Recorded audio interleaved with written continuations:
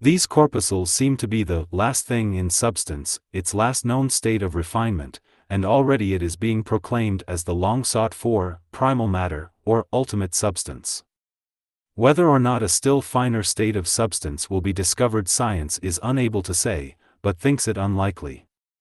But we must not overlook the old occult teaching indicating a state of substance so fine that it is imperceptible, and only recognizable as apparently free force, its covering, or vehicle of substance not being evident. This would seem to indicate a still further refinement of substance, although perhaps the corpuscle or electron will answer to fill the bill in the case. As to the corpuscle being primal substance, it must be admitted that its advocates have presented a very strong case. One of their most important points is that although molecules differ very materially from each other, according to their kinds, and while atoms likewise manifest very plainly their kind, the corpuscle seems to possess only one kind, no matter from what form or kind of substance it is thrown off. Just think what this means.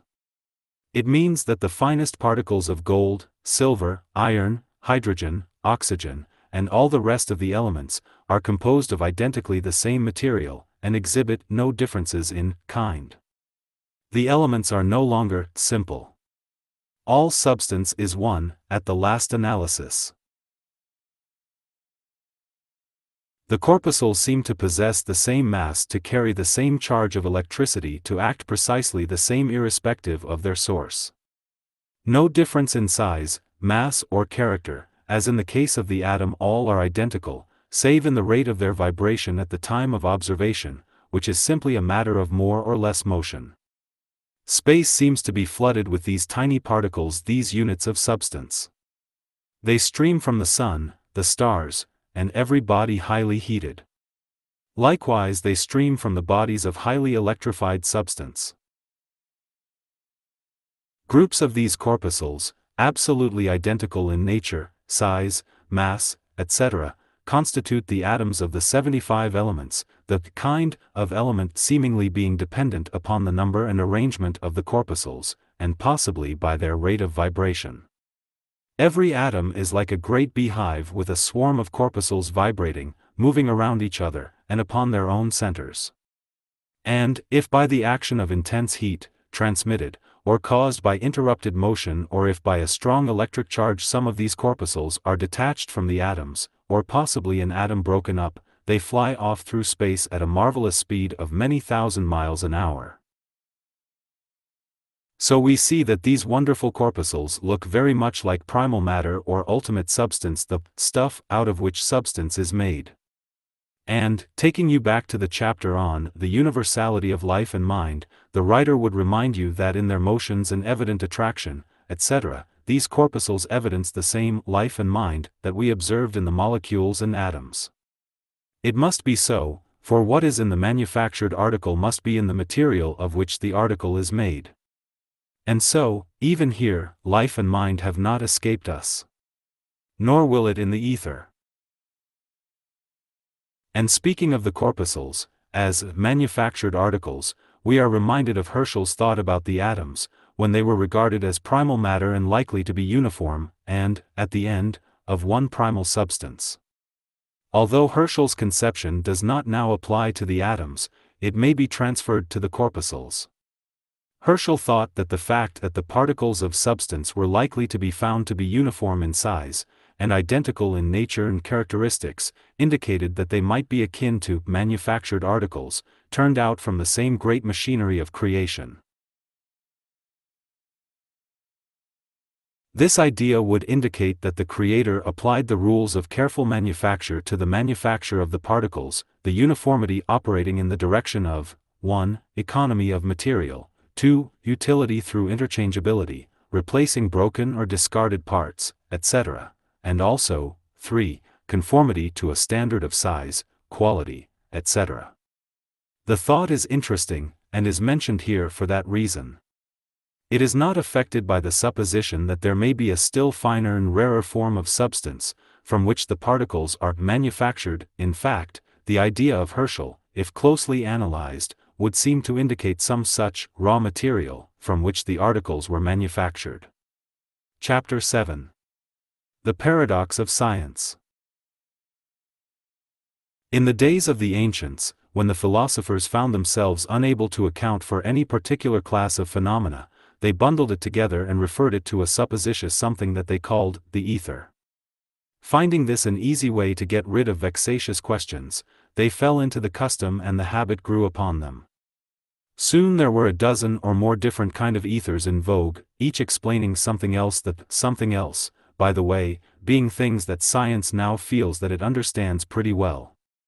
These ethers grew to be like the various vapors of the ancients a dignified term for, we don't know, a respectable road for retreat under the semblance of an advance.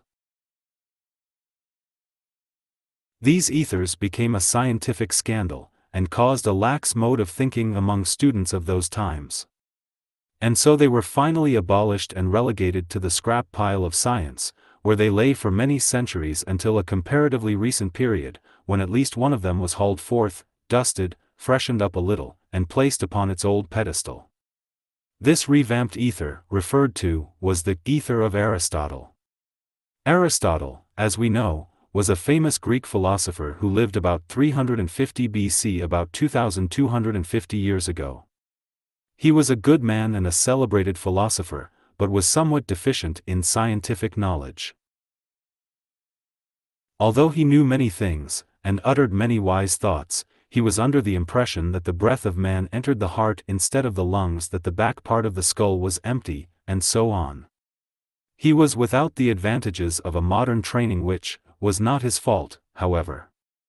Well, Aristotle conceived the idea of an universal ether, which he thought pervaded all space, and with which he accounted for the passage of light from the sun and stars, the movements of the planets, and various other physical phenomena.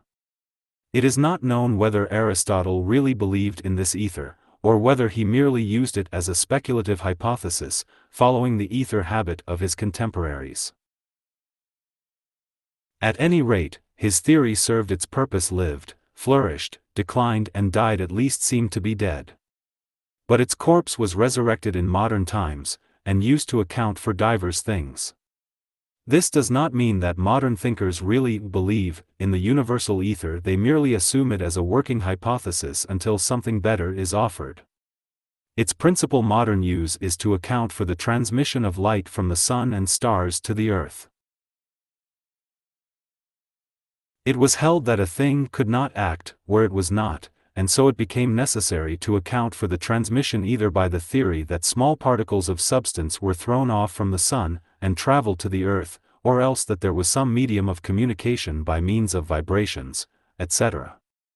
Newton held to the first theory, but his hypothesis went down before the ether advocates, who advanced the wave theory, although it seems that, like Banquo's ghost, Newton's theory will not stay down, and is now taking on a new lease of life, owing to the discovery of the corpuscle and radiant matter. The wave theory philosophers asserted that the light and heat of the sun were thrown off in the shape of force or energy, and transformed into waves, in and of a hypothetical ether, Aristotle's own, which waves were carried to the earth, where, meeting substance, they were again transformed into heat and light. It was known that light and heat traveled at the rate of 184,000 miles per second, and therefore the waves of the ether were considered to have that speed. The wave theory seemed to fit the facts of the case better than the Newtonian theory of corpuscles, although the latter has always been considered as better explaining certain phenomena than the new theory. And so the ether wave became generally accepted, and remains so today, although recent discoveries are causing a disturbance in the scientific camp regarding the question. Later it was discovered that the electricity traveled at the same rate as light and heat, and the wave of the ether theory was thus thought to have additional verification, and electricity came under the law and remained there until the electron discovery, which is causing much disturbance, among those interested in the study of electricity. Briefly stated, the theory of the universal ether is this that pervading all space in the universe not only between planets, stars, and suns, but also, filling in the cracks between molecules and atoms as well, there is a subtle substance in and through which the waves of light, heat, electricity and magnetism travel at the rate of 184,000 miles per second. This substance is said to be matter that is not matter, in fact, science does not venture to say just what it is, although it freely states just what some of its properties must be, and, alas. These properties are most contradictory and opposite to each other, as we shall see as we proceed. This universal ether is purely hypothetical. It has been called a necessity of science, something assumed for the purpose of explaining or accounting for certain phenomena. It is undemonstrated and unproved in fact, may truthfully be said to be undemonstrable and unprovable. Some have gone so far as to say that its claimed properties and qualities render it unthinkable as well. And yet, science finds itself compelled to assume that the ether, or something like it, exists, or else cease speculating about it. It belongs to the realm of pure theory, and yet, many writers treat it as if it were a positively demonstrated and proven fact. Let us examine into the nature of science's problem, and her attempted solution, and the trouble arising therefrom. Light travels at the rate of 184,000 miles a second. Remember, that light and heat are that which we call by those names only when considered in connection with substance. According to the theory, light in the sun's atmosphere is transformed into a light wave of the ether on its travels to the earth, and only when the wave comes in contact with the substance on the earth's body or atmosphere does it become again transformed into light as we know it. In its travels through space it meets with no substance, and has nothing to turn into light, consequently space, between worlds, is in a state of absolute darkness. The same is true of heat, and interworld space is absolutely cold, although passing through it are countless heat waves of great intensity, which, later on, will be transformed into heat when they reach the substance, the Earth. The same is true of electricity and magnetism. Although the ether, as we have seen, is a purely theoretical substance, yet science has found it reasonable to conclude that it must be possessed of certain attributes in order to account for certain known facts. Thus, it is said to be frictionless, else the worlds, suns and planets could not pass freely through it, nor could the light and heat waves travel at such a tremendous rate. It also is thought to have something like inertia, because motion once started in it persists until stopped, because it is at a state of rest until motion is imparted to it, and because it takes a fraction of time to impart motion to it. It is thought to be different from substance in any of its known forms, for many reasons, among such being the fact that no known form of substance could carry vibrations through space at the rate of 184,000 miles a second. And light and heat waves travel at that rate, and have forms and shapes, and lengths of their own.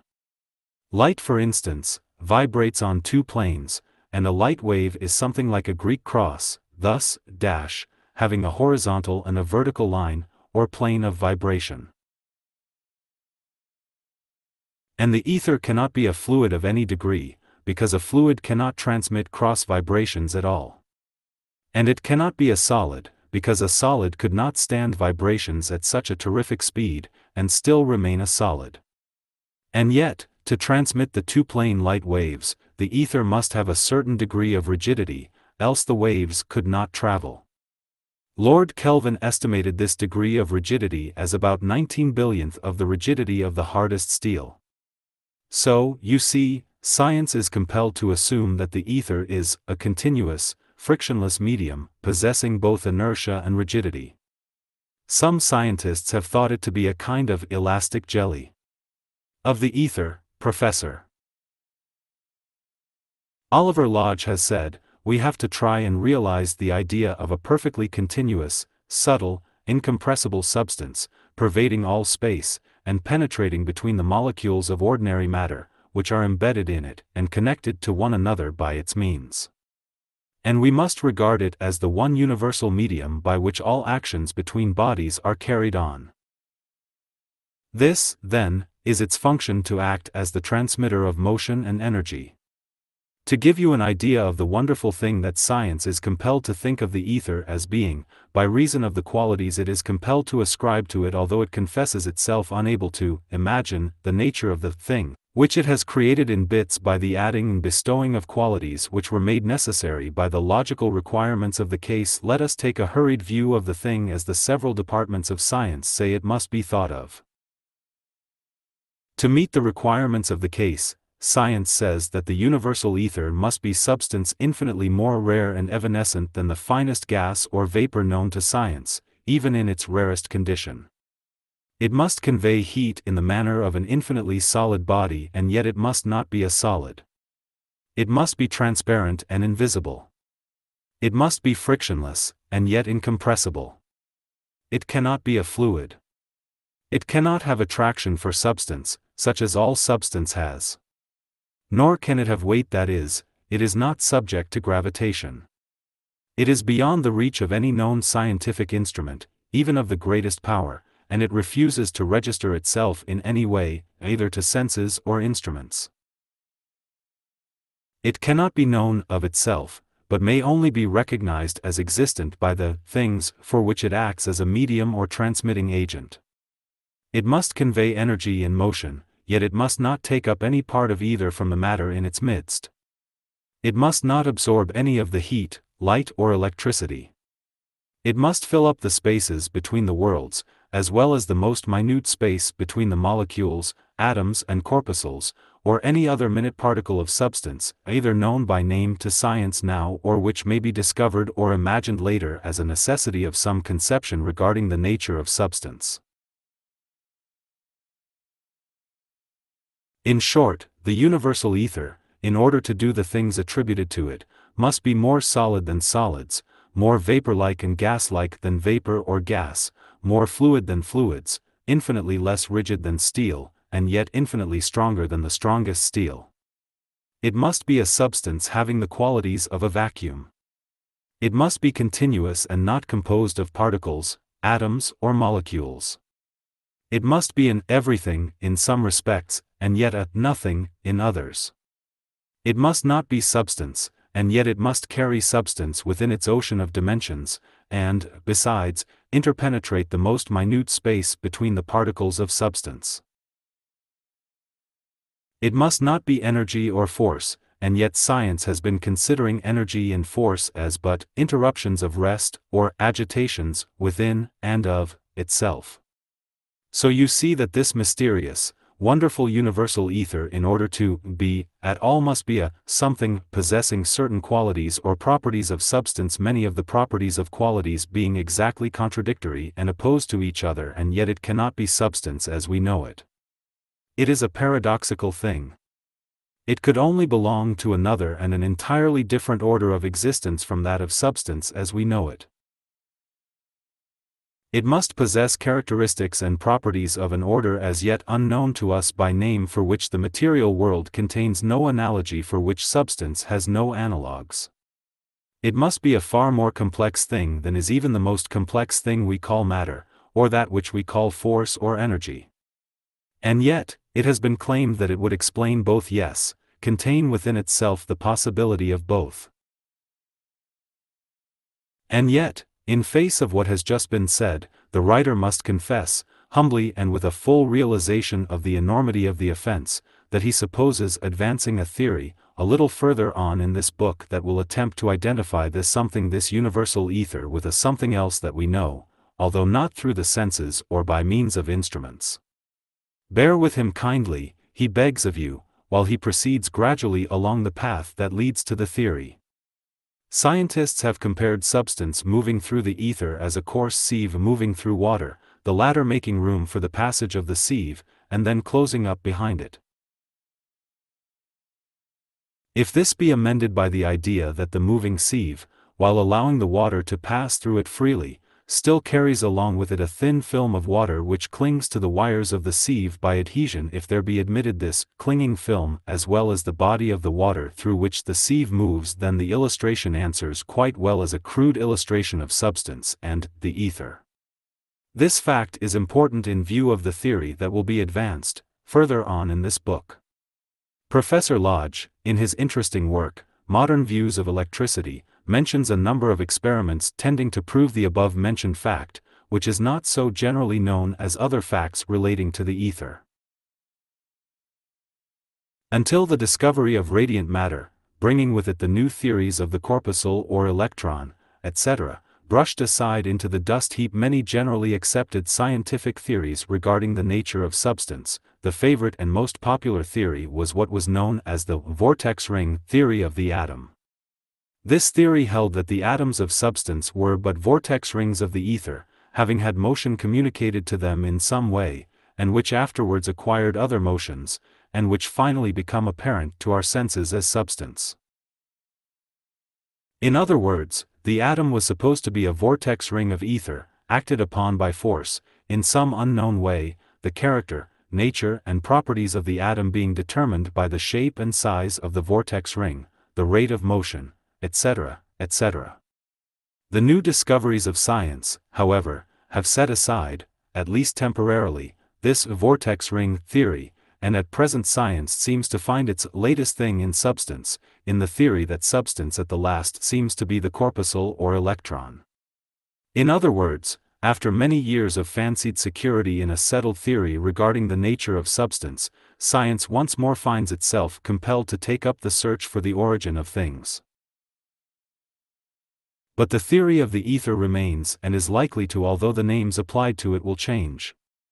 By some it is still believed that in the ether, a little further removed, rests the origin of substance and that the corpuscle may be the vortex ring product, instead of the atom. It will be noticed that science has made no serious attempt to connect the phenomenon of gravitation or attraction with the ether. Gravitation stands alone an outsider, among the forces, responding to none of their laws needing no time in which to travel needing no medium like the ether in which to transmit waves fearing no obstacle or interfering body, but passing right through the same different, different, different. And we shall see why this difference, when we reach the point where our theory brings us to the point where we must substitute something else for that great paradoxical general solvent of modern science the ether of Aristotle. We shall reach the point after a brief consideration of motion, force, and energy. Chapter 8 The Forces of Nature. The substance filling the universe is in constant and unceasing motion. Motion is evidenced in every physical and chemical process and change, and manifested in the constant interchange of position of the particles of substance. There is absolutely no rest in nature everything is constantly changing moving and vibrating. Building up processes are ever at work forming larger masses or bodies of the particles and tearing down processes, disintegration and decomposition of molecules and atoms, and corpuscles, are constantly at work also. Nature maintains a constant balance among her forces. If the building up energies and forces were allowed full sway, then all the particles in the universe ultimately would gravitate to a common center, thus forming a compact and solid mass, which would thus dwell for eternity, unless the creative power should move upon it and again scatter its particles in all directions. And, if the tearing down, and dispersive forces and energies were allowed full sway, the particles would fly apart and would remain asunder for eternity, unless called together by some new creative fiat. But nature pits one force against another, maintaining an equilibrium. The result is constant play and interplay of forces, causing distribution and redistribution of particles, following the gathering together and building up processes. There is no lost motion, or waste force. One form of force and motion is converted into another, and so on, and on. Nothing is lost, all force is conserved, as we shall see as we proceed. In the public mind or rather, in the mind of that part of the public which think of the matter at all there seems to be an idea that force is something of the nature of an entity, separate from substance or mind something that pounces down upon substance and drives it along by presence from without. The ancient philosophers regarded substance as acted upon from without by an entity called force, substance being regarded as absolutely inert and dead. This idea, which is still held by the average person, owing, doubtless, to the survival of old forms of expression, was generally held by philosophers until the time of Descartes and Newton. This old idea was due to the teachings of Aristotle. He of the ether theory and science and philosophy were timid about shaking off the Aristotelian dogmas. Others held that light, heat and electricity were fluids, conveyed from body to body. In fact, the general public still entertains this idea regarding electricity, owing to the use of the term, the electric fluid. The present teaching of science is that force is the result of the motion of the particles of substance, and, of course, originates from within, rather than from without. It is true that motion may be communicated to a body by means of another body in motion imparting the same to it, but that does not alter the case, for the original motion came from the movement and vibration of the particles of substance, although it may have passed through many stages of transformation, change and transmission in its progress. The only exception to the rule is gravitation, which is a form of force, the nature of which is unknown to science, although its laws of operation, etc., are understood. We shall learn some new facts about gravitation in the forthcoming chapters of this book. It will be well for us to remember this fact, in our consideration of force and motion that force and motion originate from the inherent property of motion passed by the particles of substance, and come from within, not from without. This is the best teaching of modern science, and also, forms an important part of the theory of dynamic thought which is advanced in this book. Buchner, the author of Force and Matter, vigorously insists upon this conception, saying, among many other similar expressions, force may be defined as a condition of activity or a motion of matter, or of the minutest particles of matter or a capacity thereof. The term force is generally defined in works on physics as that which causes, changes or terminates motion. The word force is generally used in the sense of in action, while energy is usually used in the sense of potential force capacity for performing work, the idea being that it is stored up force or force awaiting use.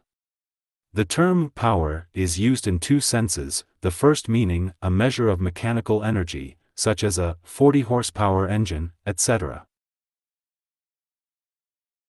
The second sense being capacity or ability to act or exercise force, this use being almost identical to the idea of energy, as above described, although, possibly, a little stronger expression. The materialistic school holds that force is a property of matter, the latter being regarded as the real thing of the universe. Others hold that force is the real thing, and that what is called matter, or substance, is but a center of force, etc. Others hold that the two are but aspects of the same thing, calling the thing by the name matter force or force matter. Haeckel calls this combined thing by the name of substance, claiming that what are called matter and force are but attributes of it, the third attribute being sensation, which he holds is akin to mind. Haeckel's substance is held to be eternal, and self existent its own cause, in fact. In this book, the term substance is not used in this sense, but merely as synonymous with what science usually calls matter. The views advanced in this book differ materially from any of those above mentioned, it being held by the writer that all force is vital mental force, and, consequently, force as a separate thing is considered an unreasonable proposition. What is called force being considered merely an action of mind upon substance, causing motion.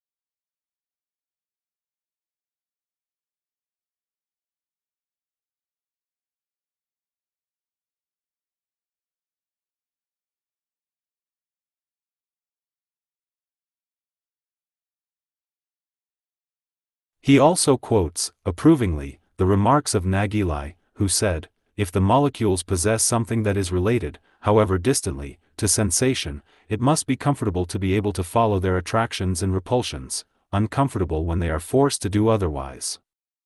Haeckel also says that in his opinion the sensations in animal and plant life are connected by a long series of evolutionary stages with the simpler forms of sensation that we find in the inorganic elements, and that reveal themselves in chemical affinity. Is not this strong enough? Perhaps we may now be permitted at least to assume that even the atoms, molecules and corpuscles have something like sensation.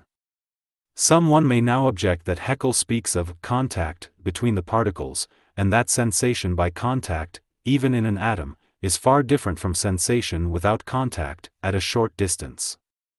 Quite right, but if the objector will take the trouble to review the teachings of science regarding the relation of the particles, he will see that the particles are never exactly in contact, except in moments of collision, which, by the way, they carefully avoid.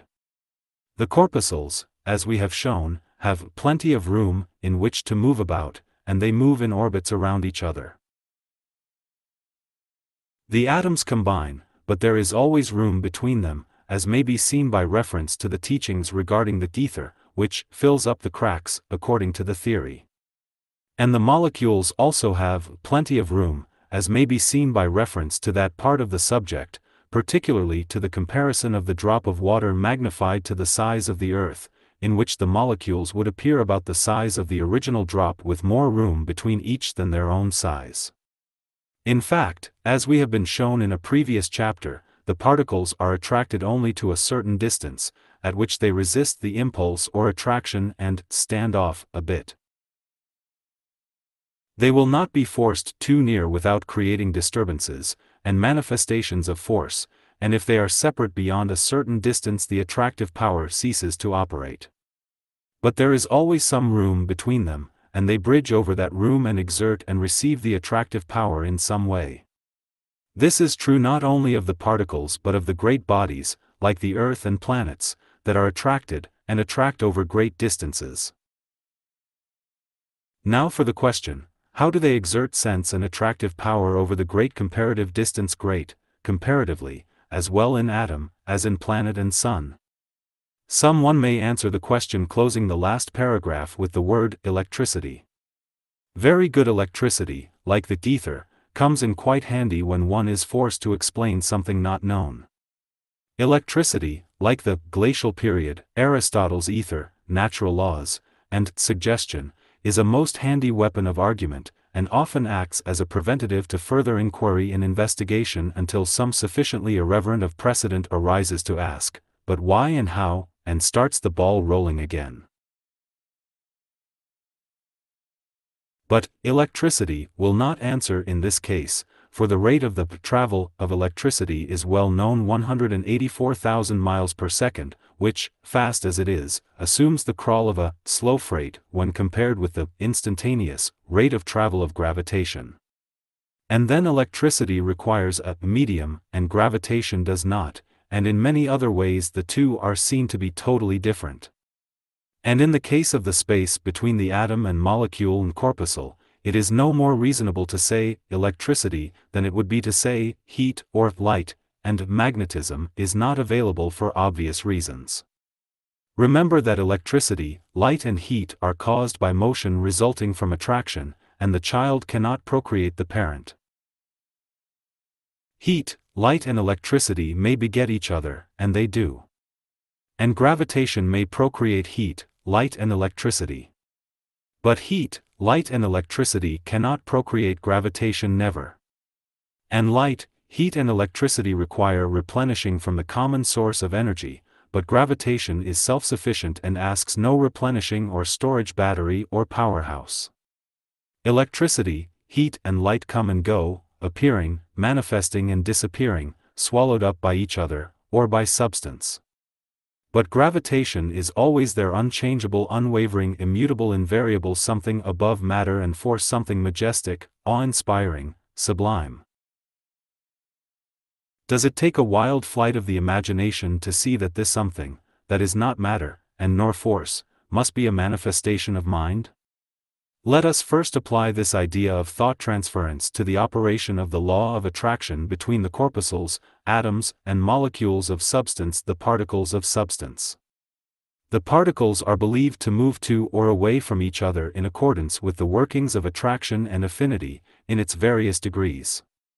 First, they must desire to move and not desire in the developed sense that we feel it, but still elementary feeling, or inclination, or tendency, call it what you will but it remains rudimentary mental emotion and emotion leading to motion. This is not a pun look up the meaning of the word emotion and you will see its application. Then, following the desire, comes the action in the direction of gratifying it. The particles act to gratify desire in two ways acting at a distance, remember they exert the attractive force, which the writer believes to be mental force, transmitted by mind, projection, a mental or psychic bond or connection being thus established. By means of this bond of mind, the particle endeavors to 1. draw itself to the object, and 2. to draw the object toward itself. In the case of the molecule, this desire and movement seems to be mutual, and evidenced by and to all molecules alike, providing they be within molecular distance, as science calls it.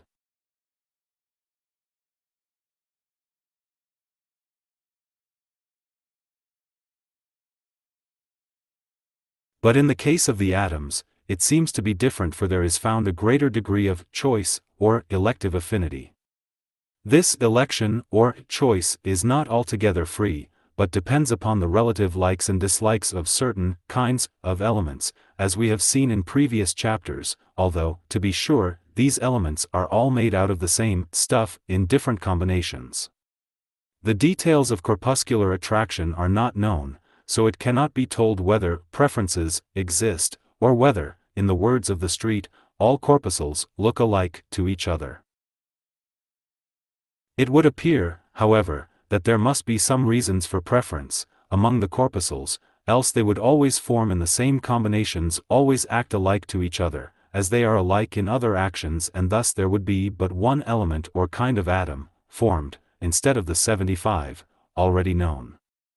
To be sure, in this case, it might be that the one kind of atom formed would be the atom of hydrogen, and that all other elements, or atoms, were modifications of that one just proving the dream of the scientists of the 19th century. But, as Kipling would say, that is another story. To return to the particle which we left trying to draw the other particle to itself, and itself toward the other.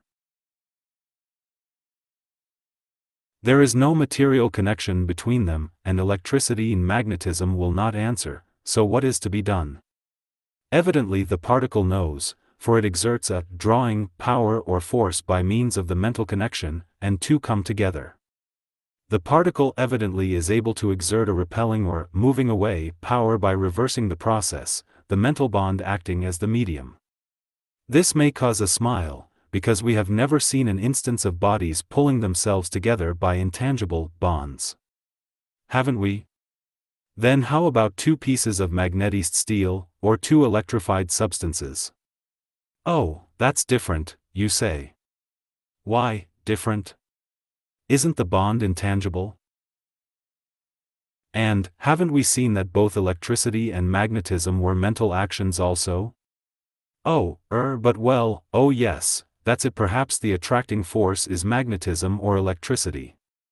No, that will not do, for we have seen that electricity and magnetism were products of this attraction, not producers of it the attraction must come before electricity and magnetism, not after them you are mixing cause and effect. And, even if you were right and you cannot be wouldn't the electrical or magnetic force be called into operation, and directed by the mental action, arising from the desire? You cannot get away from mental action when you study the law of attraction. But, how about the fact that heat causes the particles to change their vibrations, and draw apart, and all that sort of thing and electricity, likewise, you may ask. Surely this takes the matter away from mental action, doesn't it? Well, the writer thinks that the phenomenon referred to only helps to prove his theory and he will endeavor to so prove to you. The consideration of the facts related in this chapter, leads us to a supplemental proposition to our basic proposition, which may be stated as follows Supplemental Proposition 1. Not only is the law of attraction the manifestation of a mental process, or vital mental action, but also the actual force or energy used in bringing the particles of substance in closer relation, in accordance with that law, is in its nature a vital mental force or energy, operating between bodies or particles of substance, without a material medium. Chapter 12 The Law of Vibrant Energy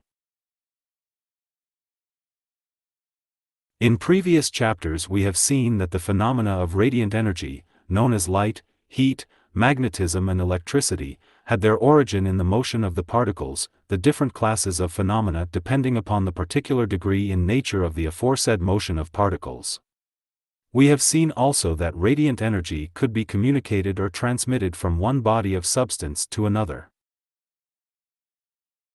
And that the communication of transmission might be accomplished not only by close contact of the bodies, but by waves of some sort which were caused in some medium, the ether, by the vibrations of the particles of the body, and which waves, when they reached the other body, were transformed into vibrations of the particles corresponding to those manifested in the first body. The idea has been illustrated by the sending telephone, the sound waves in the diaphragm of which were transformed into waves of the electric current, and thus passing along the wires were transformed again into sound waves by the diaphragm of the receiving instrument. We have seen, also in the preceding chapter, that the medium by which these vibrations were transferred, transmitted, or communicated, might be supposed to be mind, the operation being akin to thought transference. Now let us examine into the workings of the matter. In the first place, we assume a certain state of vibration, existing in a certain body of substance heat, or electricity for instance, either illustration will answer. Another body of substance is brought in close contact with the first body, and the vibrations of energy pass on to the second, not by waves, but by a seeming actual passing of vibrations without the need of intervening waves. This, science calls transmission by conduction, the theory being that the particles rapidly pass on the vibrations from one to another.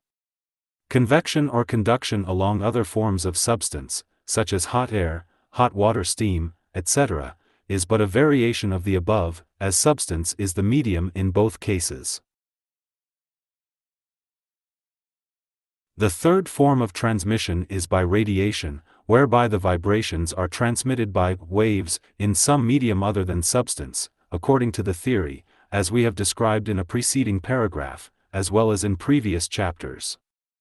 As a matter of fact, a careful analysis of the matter will show that even in the conduction of the most solid substance, there must be a medium not substance between the particles of the substance, for the particles always have space between them, this being true of the particles of air, as well as those of iron. So there is always space to be traversed by a medium not substance. But we need not stop to split hairs regarding this question, for the general explanation will explain this also. Now, to get back to our body of substance vibrating with radiant energy, separated from a second body of substance by a great distance thousands of miles in fact millions would be better let us take two worlds, for instance the Sun and the Earth. Ignoring for the moment the explanation of gravitations, which will be given later, and realizing that there is no medium of substance existing between the two bodies, we must grant that there is a medium not substance existing between them either permanently or thrown out for the purpose of this special transmission. We shall assume a medium existing before the need of the transmission, for reasons to be seen later. Our theory of dynamic thought, and thought transference between bodies of substance, compels us to suppose that this medium is a mental connection, or mental relation, existing between the two bodies of substance. So, we must consider the question of this medium of mind transmitting the vibrations of radiant energy from the sun to the earth. How can mind conduct radiant energy? It does not conduct radiant energy, but it does transmit not radiant energy but the mental state that causes radiant energy vibrations. This statement of a, a, mental state causing radiant energy vibrations seems rather startling at first sight but let us examine it. We have seen that the radiant energy was caused by the motion or vibrations of the particles, which motion or vibration was the result of the workings of the law of attraction, and which law was but the manifestation of vital mental action. And, at the last, the vibrations of radiant energy are the result of peculiar or particular states of the life and mind of the particle. The word state is derived from the Latin word status, meaning position, standing, and is used generally in the sense of condition. This mental state of the particle may be described as a state of emotional excitement. Let us pause a moment to consider the meaning of these words. It often helps us to understand a subject, if we examine the real meaning of the words defining it. Emotion is derived from the Latin word emotum, meaning to shake, to stir up, the Latin word being made up of two other words, i.e., e, meaning out, and modem, to move. Emotion is defined as a moving or excitement of the mind. Excitement is derived from the Latin word exciter, meaning to move out, the English word being defined as a calling to activity, state of active feeling, aroused activity. So you see that the idea of active motion and aroused activity of mind permeates the term emotional excitement, that is used by the writer in connection with the mental state causing vibration of the particles of substance. The single word, excitement, will be used by the writer, hereafter, in the above connection, in order to avoid complex terms. To those who still object to the use of a mental term in reference to motion of substance, he might remark that science makes use of the term excite and excitement in reference to electrical phenomena, so that he is not altogether without support in the use of the word.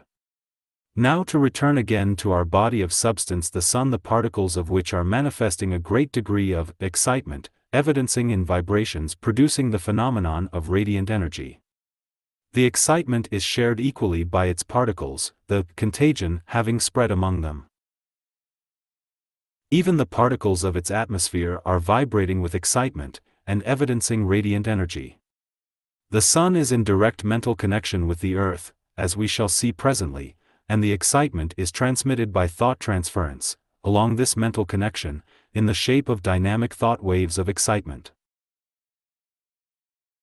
These waves have a rate of speed of 184,000 miles per second. Why this particular rate, or any rate at all, is not apparent, it being very evident, however, that this particular kind of mental action excitement, or thought is not transmitted instantaneously as is the mental quality known as desire, resulting in attraction, or gravitation, which seems to be rather a basic quality, rather than a temporary disturbance or emotional excitement. But the writer must not get ahead of his story. The excitement of the particles of substance composing the sun is contagious, and the thought waves travel along the mental connection, or medium, at a wonderful rate of speed. Soon they come in contact with the mental atmosphere of the earth and the excitement becomes manifest in action, the emotional excitement being reproduced by the particles of the earth's substance nearest the surface which vibrate and manifest the radiant energy in spite of themselves, for the tendency among particles is to settle down and remain calm, rather than to participate in emotional excitement.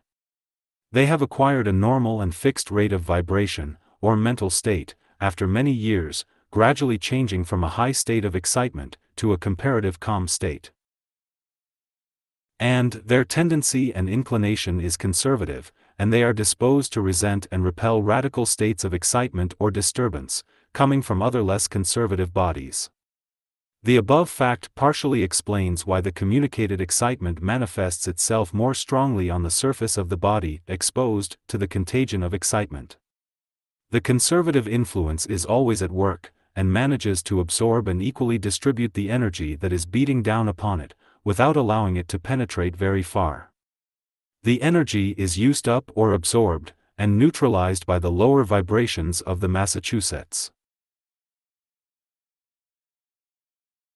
The effort of the energy coming from the sending body is to bring up the vibrations of the receiving body to the rate of the sender, while the effort of the receiving body is to resist this effort, and to reduce and bring down the transmitted increased rate of vibration of the particles immediately exposed to the contagion.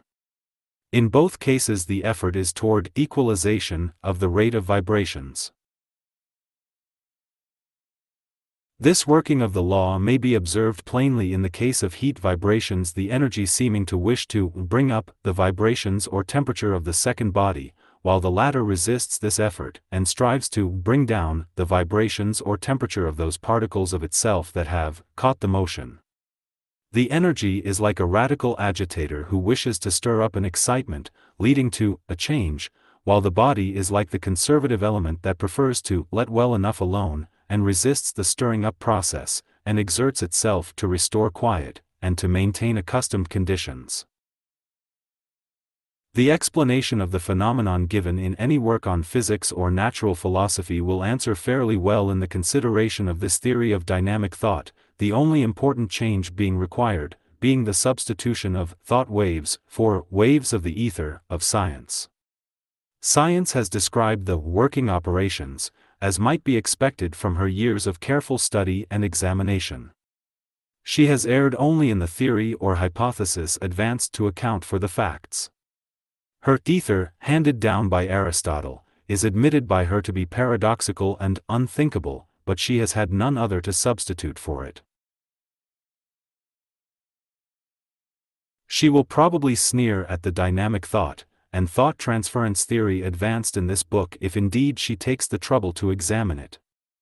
But sometime, from her own ranks among her most advanced members will arise a man who will claim that all force is mental force, and that transference of energy is thought transference.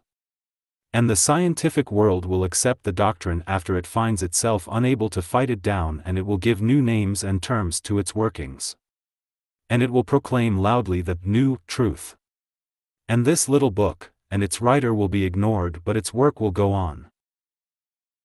The writer although probably doomed to have himself and his theory laughed at by the masses of people, whose children will accept the teachings of this book, does not feel discouraged by the prospect. He cares nothing for personal credit the truth being the important thing. Like Galvani, whose words appear on the title page of this book, he may cry, I am attacked by two very opposite sects the scientists and the know-nothings.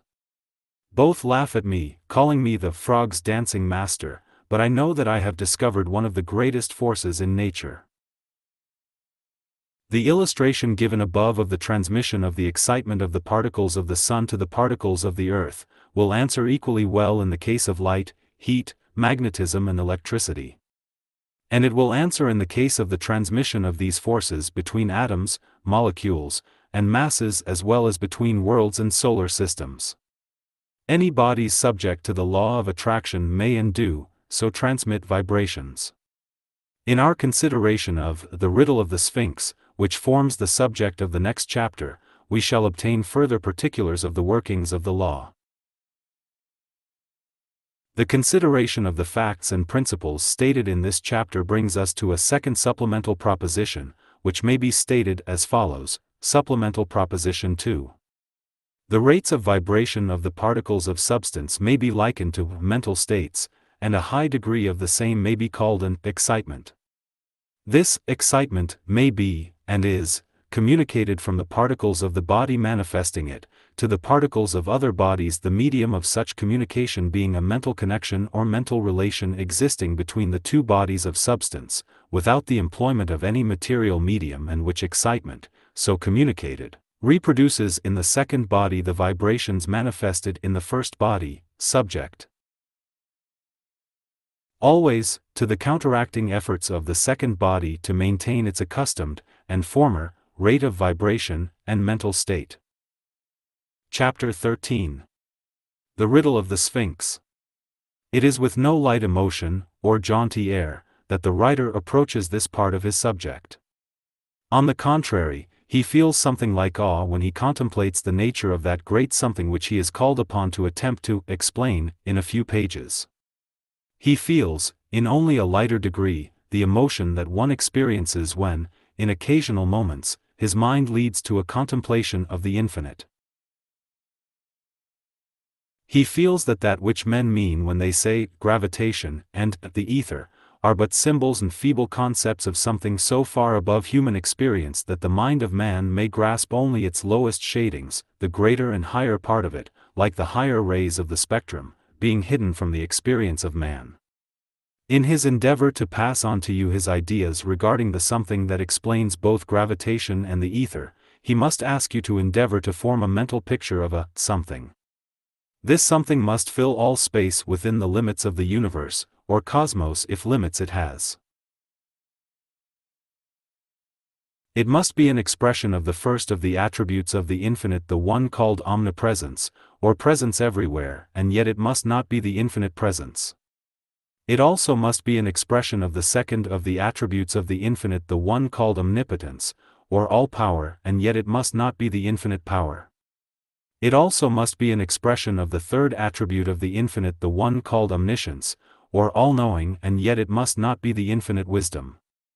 It must be an expression of all the attributes that we think of as belonging to the infinite and yet through them all we may see the infinite, itself, in the background, viewing its expressions.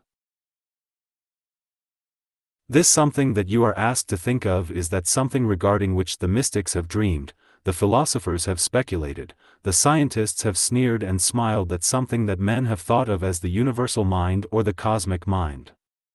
You are asked to think of this something as a great ocean of pure mind, permeating all space between solar systems, between worlds, between masses of substance, between the molecules, atoms, and corpuscles.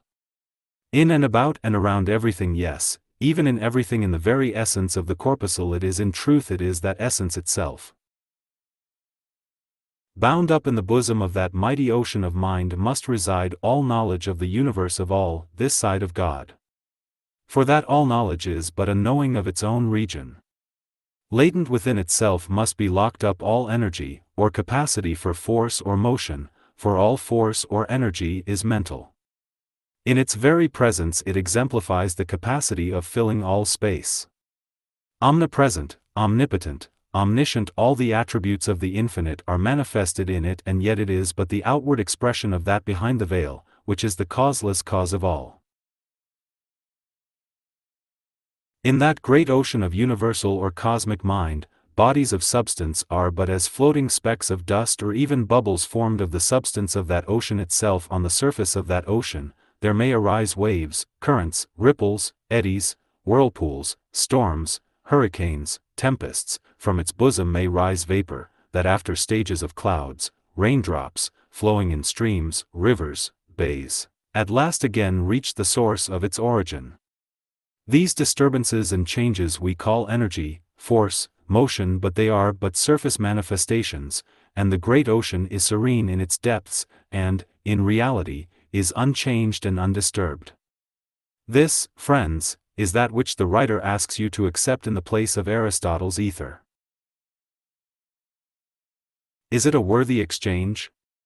We have seen that the attraction of gravitation was different from any other so-called form of force and energy both in its operations and laws, as well as in its constancy and self-support. And that it was different from the other forms of attraction such as cohesion, chemical affinity, etc. And, so we must consider it as more than a mere, emotional excitement, in the mind of the particle that bubble on the surface of the ocean and it must be different from the special forms of attraction manifested by the atom and molecule.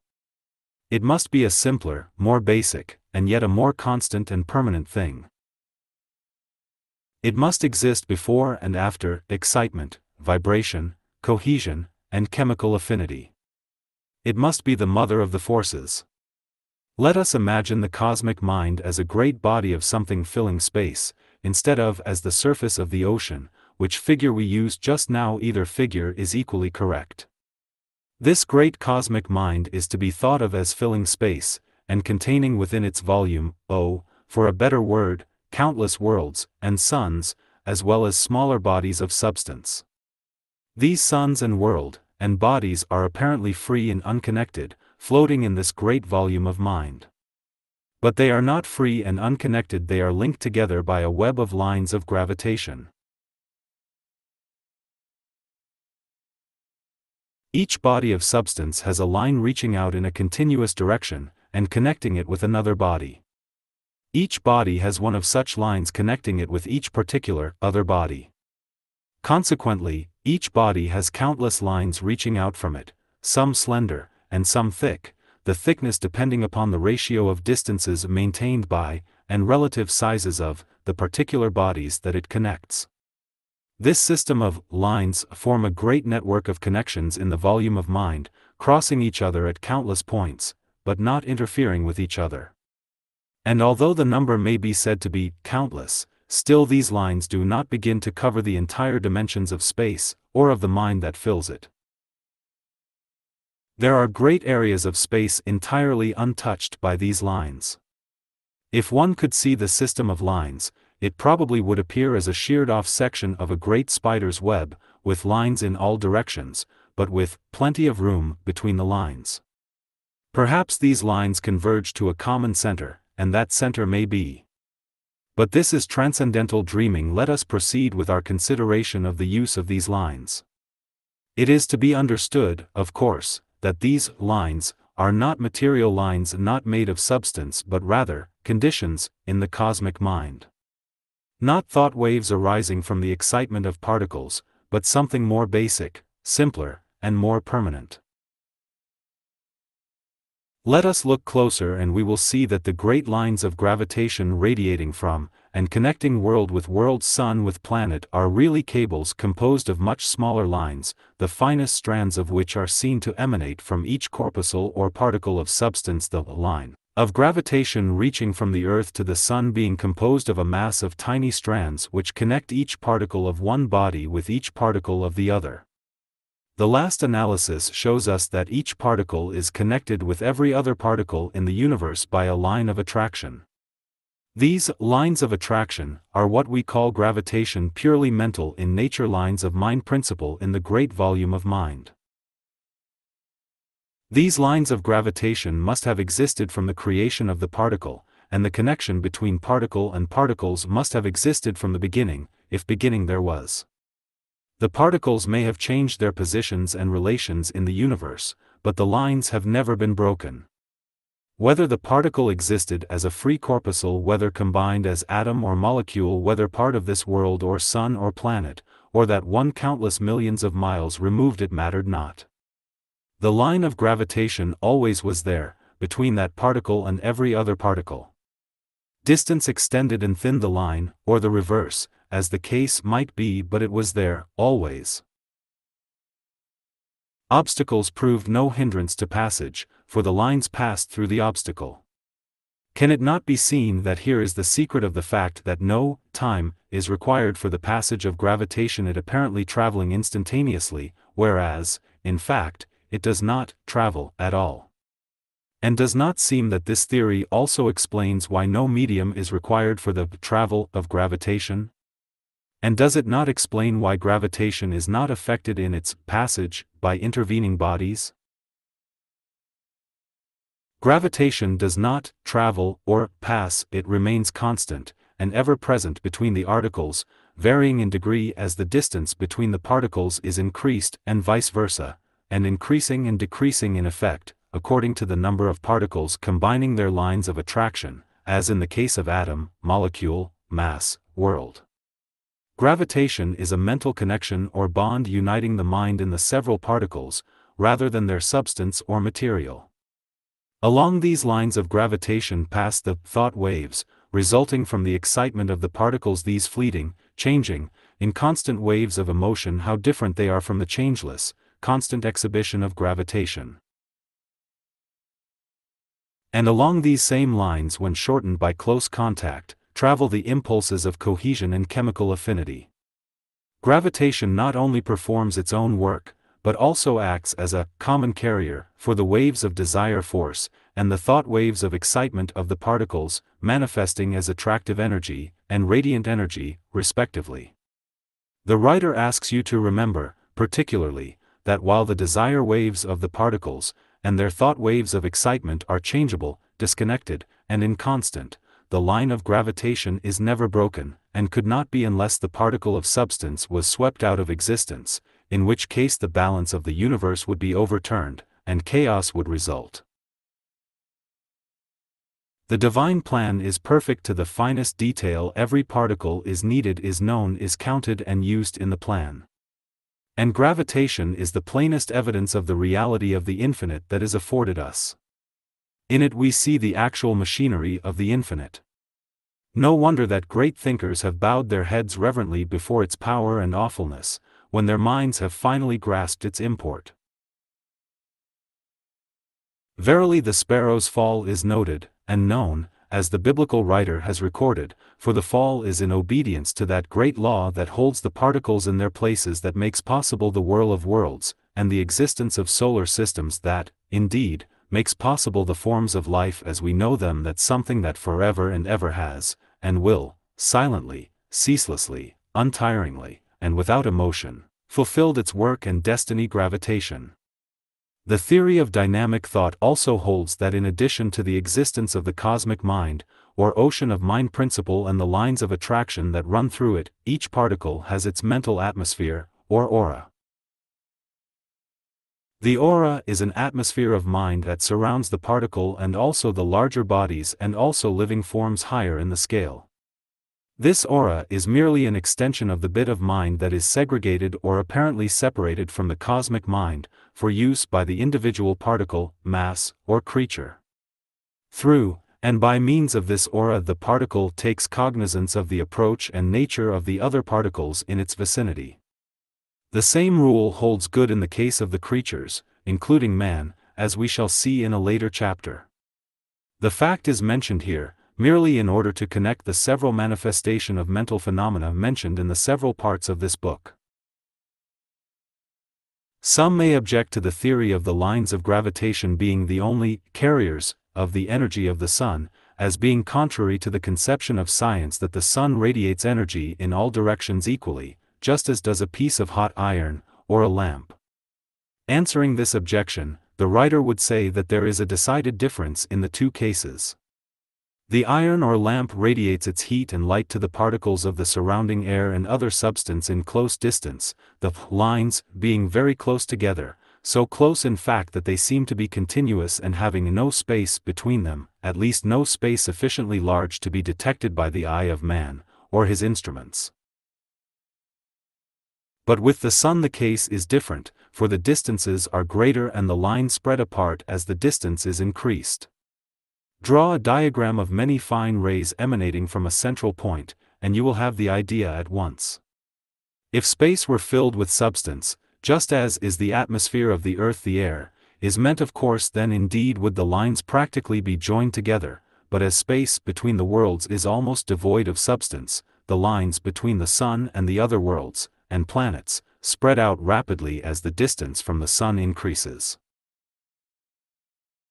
To show how this objection is really an additional proof of the theory the writer begs to call your attention to the fact that according to the calculations of the physicists in science, the Sun's energy would have been exhausted in 20 million years, granting that it was dispersed equally in all directions during that time.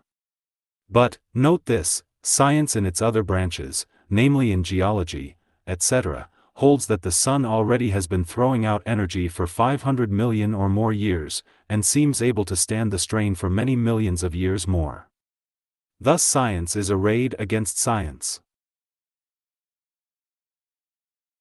Does not this theory harmonize the two, by showing that the Sun does not emanate energy in all directions, equally, and at all times but, on the contrary radiates energy only along the lines of gravitation, and in proportion to the relative distances and sizes of the bodies to whom such energy is radiated?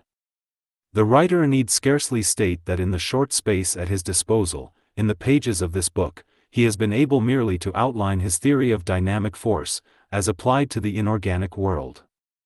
The patience of the average reader has limits and he must pass on to other features of the workings of the theory, namely the mental life of man, in which the same laws are manifested. But, he feels that those interested in the phases of the subject touched upon, may explain for themselves the missing details by reference to the teachings of modern science on the subjects of physics, remembering, always, to substitute the theory of dynamic thought for the ether theory that modern science borrows from Aristotle as a temporary makeshift. The writer believes that this theory will account for many of the missing links in physics a broad statement, he knows, and one either extremely impudent or superbly confident, according to the viewpoint of the critic. The writer may be able to throw a little additional light, probably, upon the question of the relation between gravitation and the excitement waves of radiant energy. Without attempting to go into details, he wishes to suggest that in view of the fact that the particles are connected by the lines of gravitation, any great, extended, and rapid disturbance of a number of particles would cause a series of undulating or wave-like movements in the lines, which might be spoken of as waves of agitation or unrest, in the lines of gravitation. This agitation, or unrest, of course, would be thus communicated to all other particles toward whom lines extended, the intensity or effect of such agitation or unrest depending upon the relative distances, and the number of particles involved. We may easily imagine how the intense and high rate of vibration among the particles of the Sun, manifesting as intense heat, would cause a like high degree of agitation or unrest among the lines of gravitation the lines dancing backward and forward, around and about, following the movements of the particles, and thus producing waves of gravitational agitation and unrest, which when communicated to the particles of the Earth, would produce a similar excitement among the particles of the latter. In the same way that sunspots, and consequent terrestrial electrical disturbance may be explained. While not absolutely tying himself to this particular conception of the details of the workings of the law, the writer feels free to say that he considers it a very reasonable idea, and one that in all probability will be found to come nearer to explaining the phenomena, than any other hypothesis. It certainly coincides with the undulatory wave theory of science. The idea is but crudely expressed here, for lack of space, it being impossible to attempt to go into details the mere mention of general principles being all that is possible at this time and place. And now, for a few additional words on the subject of our theory that in place of the hypothetical ether of science a substance that is not substance there exists a great ocean of cosmic mind. The idea is not without corroborative proof in the direction of the thought of advanced thinkers even among the ranks of science. While science has accustomed the public to the idea that in the universal ether might be found the origin of matter, the essence of energy, the secret of motion, it has not spoken of a mind, in connection with this universal something. But the idea is not altogether new, and some daring scientific thinkers have placed themselves on record regarding same. Let us quote from a few of them, it will make smoother our path. Edward Drinker Cope, in several of his writings, hinted at the idea that the basis of life and consciousness lay back of the atoms, and might be found in the universal ether. Dolbear says, possibly the ether may be the medium through which mind and matter react. Hemstreet says, mind in the ether is no more unnatural than mind in flesh and blood.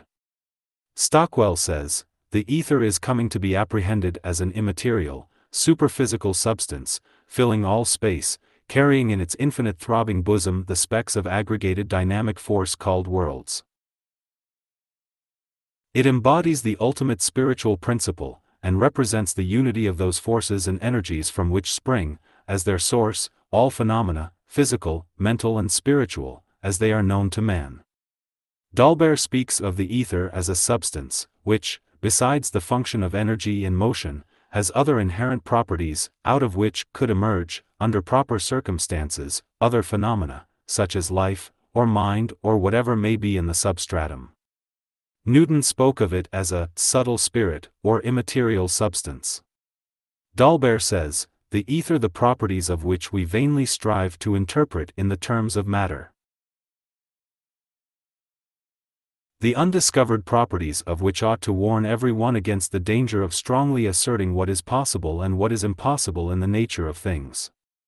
Stockwell says, that the ether is not matter in any of its forms, practically all scientists are agreed.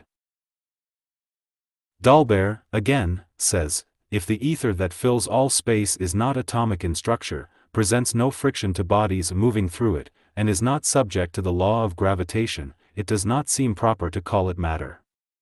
One might speak of it as a substance if he wants another name for it.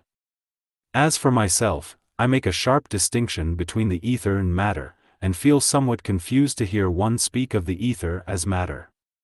And yet, in spite of the above expressions, no scientist has dared to say in plain words that the ether, or whatever took the place of the ether, must be mind, although several seem to be on the verge of the declaration, but apparently afraid to voice their thought. In view of what we have seen in our consideration of the facts and principles advanced in this chapter, we are invited to consider the following two supplemental propositions. Supplemental Proposition 3. Connecting each particle of substance with each and every other particle of substance, there exists lines of mental connection, the thickness of which depends upon the distance between the two particles, decreasing in proportion as the distance is increased. These lines may be considered as conditions of the great ocean of cosmic mind which pervades and fills all space, including the essence or inner being of the particles of substance, as well as the space between the said particles. These lines are the lines of gravitation, by and over which the phenomenon of gravitation is manifested. These lines of gravitation have always existed between each particle and every other particle, and have persisted continuously and constantly, throughout all the changes of condition, and position, and relation, that the particles have undergone. There is no passage or transmission of energy or force of gravitation over these lines, or any other channel, but, on the contrary, the energy or force of gravitation is a constant and continuous mental connection or bond existing between the mind of the particles, rather than between their substance or material. Supplemental Proposition 4 The lines of gravitation, mentioned in the preceding proposition, are the medium over which travel, or are transmitted the thought waves resulting from the excitement of the particles, and by which waves the mental states are communicated or transmitted. The same medium transmits or carries the mental force of attraction cohesion, chemical affinity, etc., evidencing in the relation of the particles to each other. Thus gravitation not only performs its own work, but also acts as a common carrier for the waves of excitement, manifesting as radiant energy, and the waves of desire force, manifesting as attractive energy. And here, the writer rests his case in the action in the form of advanced thought, entitled The Theory of Dynamic Thought versus The Theory of Aristotle's Ether, in which he appears for the plaintiff. He begs that you, the members of the jury, will give to the evidence, and argument, due consideration, to the end that you may render a just verdict. Chapter 14 The Mystery of Mind. The writer, in this book, has treated the two manifestations of life, viz. mind and substance, as if they were separate things, although he has hinted at his belief that substance, at the last, might be found to emanate from mind, and be but a cruder form of its expression. The better way to express the thought would be to say that he believes that both substance, and mind as we know it, are but expressions of a form of mind as much higher than that which we know as mind, as the latter is higher than substance. But he does not intend to follow up this belief, in this book, as the field of the work lies along other lines. The idea is mentioned here, merely for the purpose of giving a clue to those who might be interested in the conclusions of the writer, regarding this more remote regions of the general subject. The writer agrees with the ancient occult teachings regarding the existence of the cosmic mind, as he has stated in the last chapter. This cosmic mind, he believes, is independent of substance, in fact, it is the mother of substance, and its twin brother, mind as we know it. Mind, as we know it, and substance are always found in connection with other. It is true that the form of substance, used by mind as its body, may be far finer than the rarest vapor that we know, but it is substance nevertheless. The working of the great plan of the universe seems to require that mind shall always have a body with which to work, and this rule applies not only in the case of the densest form of substance and the mind principle manifesting through it, but also in the case of the highest manifestation of mind, as we know it, which requires a body through which to manifest. This constant combination of mind and substance the fact that no substance has been found without at least a trace of mind, and no mind except in relation to and combination with substance, has led many scientific thinkers to accept the materialistic idea that mind was but a property of substance, or a quality thereof.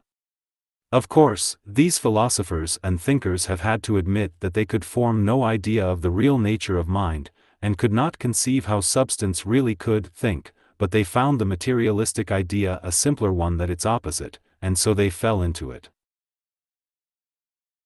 Notwithstanding the fact that there was always a something within that would cry, Pshaw, at the conclusion of the argument or illustration, these men have thought it reasonable to believe that there was no such thing as mind, except as a result of irritation of tissue, etc.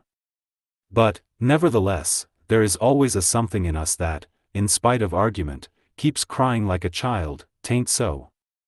And, wonderful to relate, we heed the little voice. This materialistic theory is a curious reversal of the facts of the case. Even the very conclusions and reasoning of these thinkers is made possible only by the existence of that mind which they would deny. The human reason is incapable of explaining the inner operation of the mind upon a strictly and purely physical basis.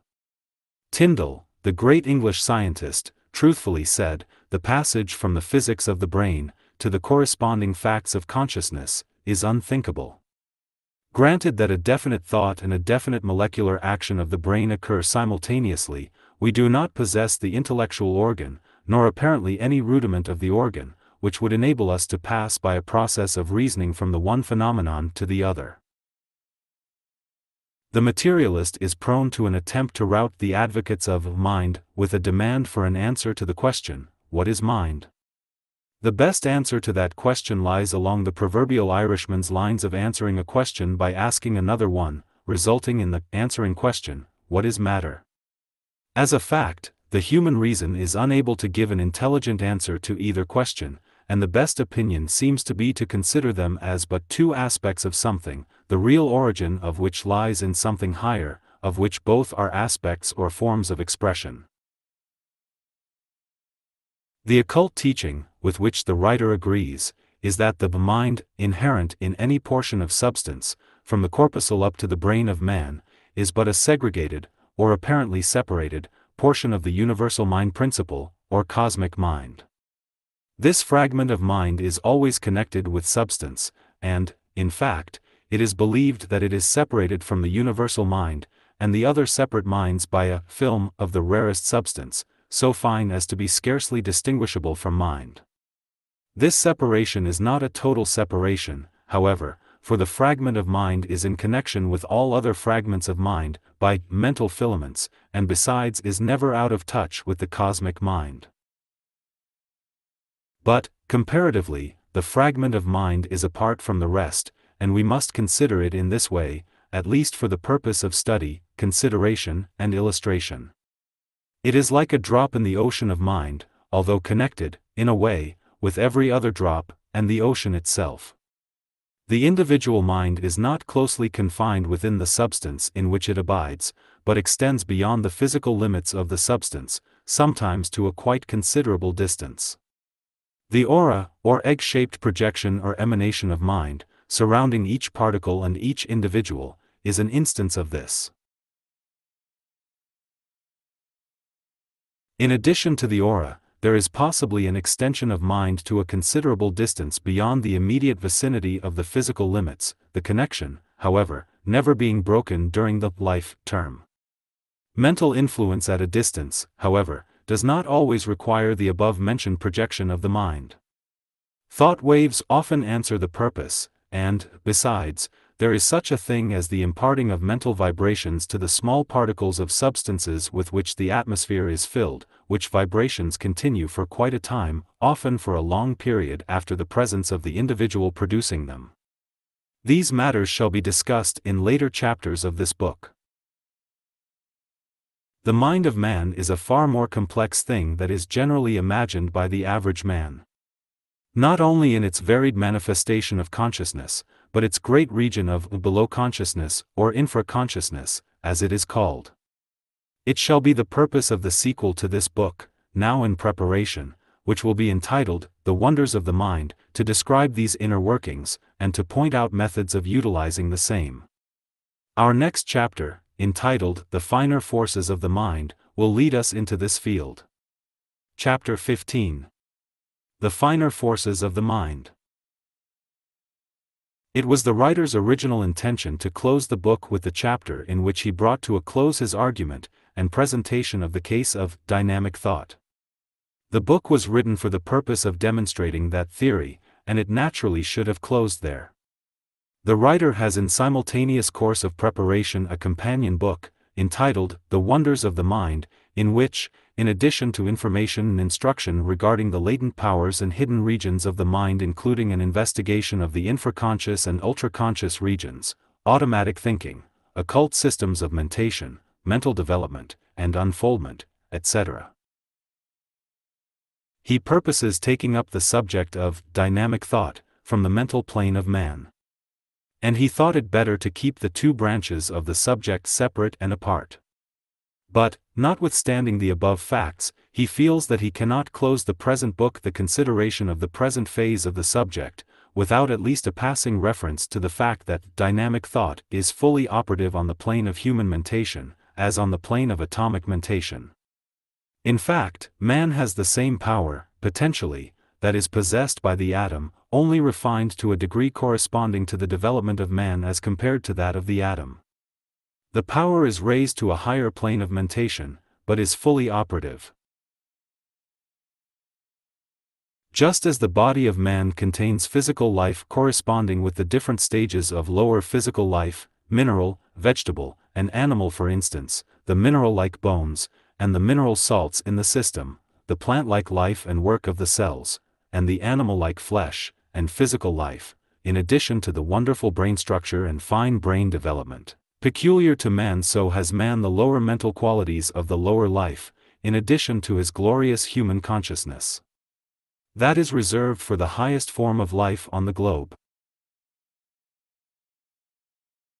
In his mental regions, man has the power of the atom of attracting particles of substance to him, that he may combine it with other substances in building up his body then he has the plant-like cell mentation, that does the building up work, and repairs wounds, and damaged parts, etc. Then he has the animal mentation evidencing in the passions, desires, and emotions of the purely animal nature, and which mentation, by the way, keeps man busy in controlling by means of his higher mental faculties, that are God's gift to man, and are not possessed by the animals. But all this will form part of the sequel, the wonders of the mind, and are merely mentioned here in passing. And, just as man is enabled to use elementary the physical qualities that he finds in his body, and to turn same to good account in living his human life, so does man, consciously or unconsciously, make use of these elementary mental powers in his everyday mental life. And if he but realizes what a conscious use of these faculties, guided by the human will, will do, man may become a different order of being. This is the basis of the occult teachings, and the mysteries of the ancients, as well as the teachings of the modern secret esoteric bodies and societies, such as the Rosicrucians and Hermetic Brotherhood, and several other societies whose names are not known. The real societies are referred to, not the brazen imitations that unscrupulous men are holding out to the public as the original orders, membership being offered and urged for the consideration of a few dollars. It is needless to say that membership in the real occult orders is never urged, and cannot be bought. But to return to the subject, the individual mind of man is in direct touch, not only with the great cosmic mind, but also with the individual mind of every other man. Just as the particles are bound by lines of attraction, so are the minds of men bound together by lines of mind, or mental filaments. And just as special forms of attraction exist between the particles, so do special forms of attraction exist between men. And just as particles are influenced at a distance by other particles, so are men influenced at a distance by other men. And just as the particle draws toward itself that which it desires, so do men draw toward themselves that which they desire. And just as mental states and excitement are transmitted or communicated from particle to particle, so are mental states or excitement transmitted or communicated from men to men. As above so below as below so above, says the old occult maxim, and it may be found to operate on every plane. The phenomena of thought transference, telepathy, telesthesia, mental projection, suggestion, hypnotism, mesmerism, etc., etc., may be explained and understood, by reason of an acquaintance with the theory of dynamic thought, as explained in this book. An understanding of one gives you the key to the other, for the law operates precisely the same on each particular plane. If the reader will think over this statement, and then apply it to his investigations and experiments, he will find that he has the key to many mysteries, the loose end of a mighty ball of thread, which he may unwind at his leisure. Let us begin by a consideration of the process of thought production in the human mind. In this way, we may arrive at a clearer idea of the mental phenomena known as thought force, mental power, thought waves, thought vibrations, mind transference, mental influence, etc. To understand these things, we must begin by understanding the process of thought production. Here is found the secret of the phenomena named, and much more. In the first place, while the brain is the organ of the mind, the instrument that the mind uses in producing thought, still the brain does not do the thinking, nor is the brain matter visible to the eye, the material instrument of thinking. The brain, and other portions of the nervous systems, including the little brains, or ganglia, found in various parts of the body, is composed of a certain substance, a fine form of plasm, which however is but the groundwork of foundation for finer forms of substance used in the production of thought. Science has not discovered this finer substance, for it is not visible to the eye, or to the finest instruments, but trained occultists know that it exists. This fine substance escapes the scalpel and microscope of the biologists and anatomists, and, consequently, their search for mind in the brain is futile. There is something more than tissue to be irritated in the brain. But, remember, that this something more is still substance, and not mind itself. Thought is a form of excitement in this fine brain substance, which we may as well call psychoplasm, from the two Greek words meaning the mind, and a mold, or matrix, respectively, the combined word meaning the mold or matrix of mind, in other words the material substance used by the mind in which to cast or mold thoughts. This excitement in the psychoplasm manifests in vibrations of its particles for, like all substance, it has particles. All scientists agree that in the process of thinking there is an expenditure of energy, and a using up of material substance. Just how this is effected, they do not know, but their experiments have shown that there is energy manifested and used, and also substance consumed. The secret of the production of thought does not lie in the brain or nervous system, which are but the material substratum upon which the mind works, and which it uses as a mold or matrix for the production of thought. Thought is the product of mind directing force upon substance in the shape of psychoplasm. And energy is manifested in the production of thought just as much as in the operation of the law of attraction or chemical action. What force and energy, may be asked?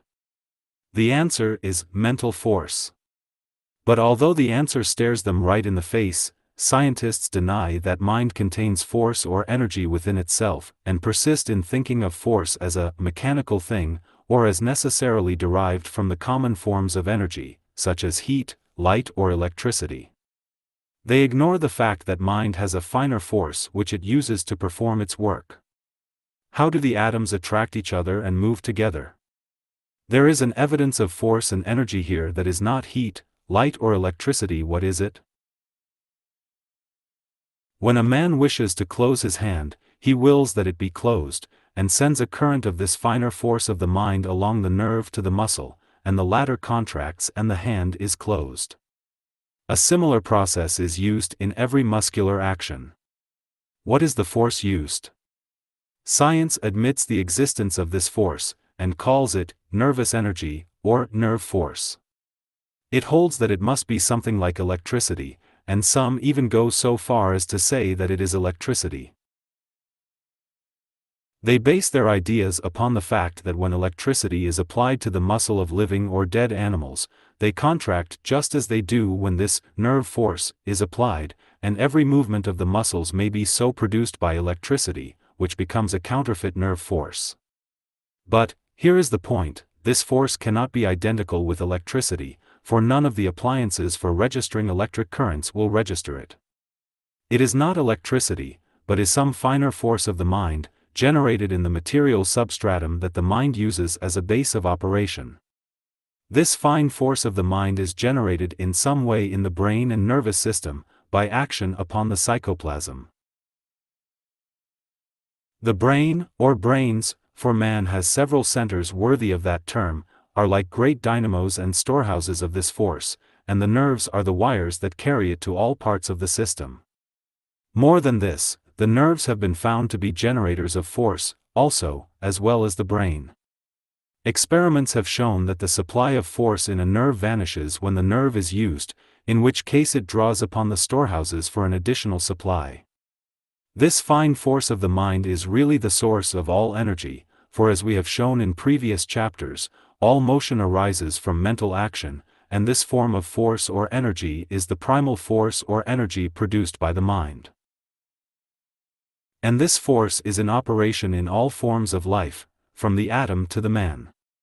And not only may it be used by the particle, but man, also, has it at his disposal. As a proof that substance is used up, and energy manifested in the production of thought, science points to the fact that the temperature of a nerve rises when it is used, and the temperature of the brain increases when it is used for extended thought. Scientists have claimed, and advanced a mass of proof to back up the same, that thought was as much a form of energy as was the pulling of a train of cars, and was attended by the production of a definite amount of heat, resulting from the activity of the fine substance of the physical extended resistant and composite substratum. But, science has taken all this to mean that thought and mind were purely material things, and properties of matter.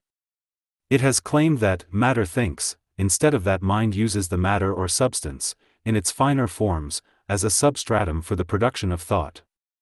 Buchner, the leader of the purely materialistic school, claims positively that thought is but the product of matter.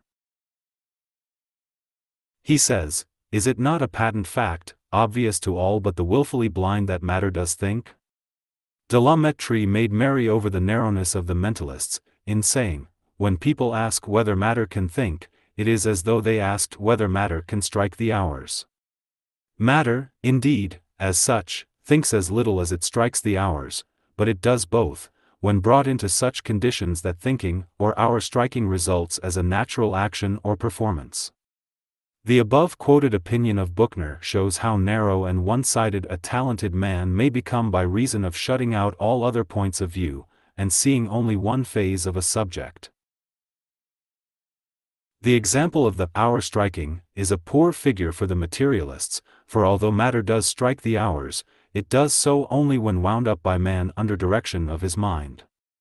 And in the manufacture, adjustment, and winding of the clock, mind is the cause of the action.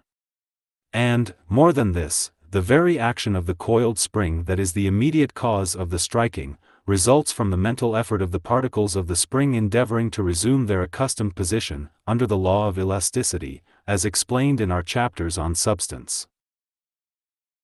Science renders valuable service in showing us the details of the mechanism of thought, but it will never really explain anything unless it assumes the existence of mind, back of and in everything. It may dissect the brain cells, and show us their composition, but it never will find mind under the scalpel, or in the scale or test tube. Not only is this true, but it cannot even discover the fine psychoplasm which is used in the production of mind. But we may make use of its investigations regarding the matter of activity of brain substance in the process of thought, and by combining them with our belief regarding the existence of mind we may form a complete chain of reasoning, without any missing links these missing links appearing both in the case of the no-mind philosophers, and the no-matter metaphysicians. This theory of mind and substance considered as the two aspects of something higher, from which both have originated or emanated, will come to be regarded as the only thinkable proposition in the end. And, with this idea in view, we may use the facts and experiments of the materialists, while smiling at their theories. And, with but a slight change of words, we may turn against them their own verbal batteries. In this way, we may take Moleschott's famous statement, thought is but a motion of matter, and render it intelligible by making it read as follows thought produces motion in matter. This finer force of the mind is in full evidence to those who look for it, and although it may not be registered by the scales or instruments designed to register the coarser grades of force, still it is registered in the minds of men and women, and in the actions resulting from their thoughts. These living registers of the force respond readily to it, and every one of us is such a register. Just as is the force a much higher grade of energy than the forms usually considered as comprising the entire range of energy, so are the instruments required for its registration much higher than those used to determine the degrees of heat, light, electricity, and magnetism. It may be that the future will give us instruments adapted for the purpose in fact it begins to look even now as if the same were forthcoming. But whether we have such mechanical instruments, or not, the living instruments give us a sufficient proof of the existence of the force, and its operation. Well, the writer still finds himself unable to bring the book to a close. He added this chapter, to show that the property of dynamic thought extended to the highest development of mind, as well as abiding in the lowest. And, now that he has ventured upon the subject, he finds himself impelled to give you a few instances of the workings and operations of that law, in the case of human mental life. And this means one more chapter but only one, remember.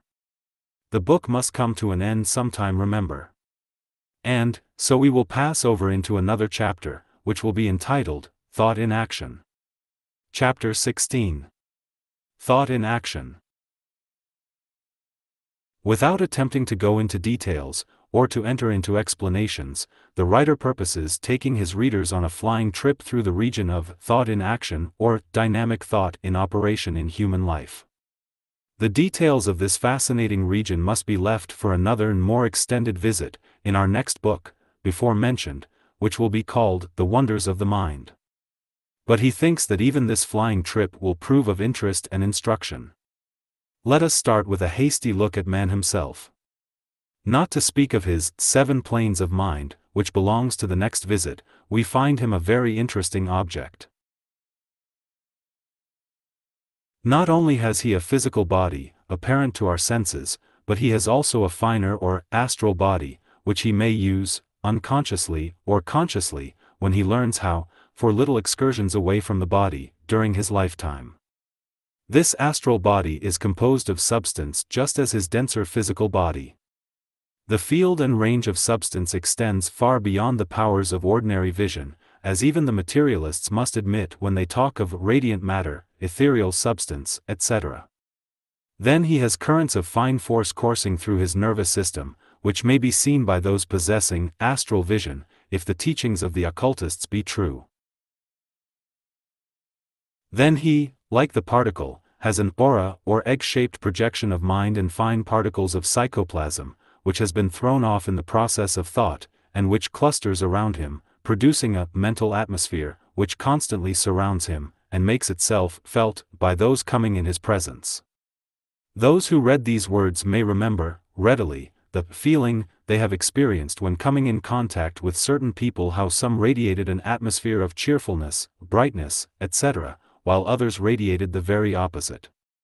Some radiate a feeling of energy, activity, etc., while others manifest just the reverse.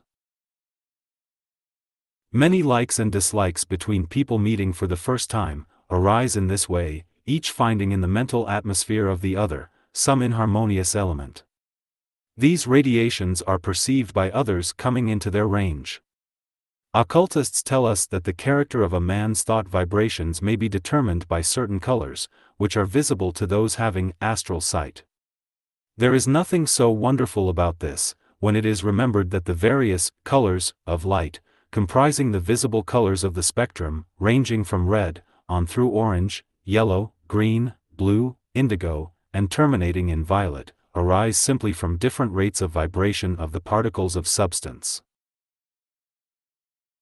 And as thought is produced by mind causing vibrations in the psychoplasm, why is not the astral colors reasonable? We cannot stop to consider these colors in detail, but may run over the ones corresponding to each marked emotion of thought, as reported by the occult teachings. For instance, the shade of the thought manifesting in physical or organic functions is of a colorless white, or color of clear water, and the color of the thought manifesting in fine force or vital energy is that of air, heated air arising from a furnace or heated ground when it emerges from the body, although of a faint pink when in the body itself. Black represents hate, malice, etc. Gray, bright shade, represents selfishness, while gray of a dark dull shade represents fear.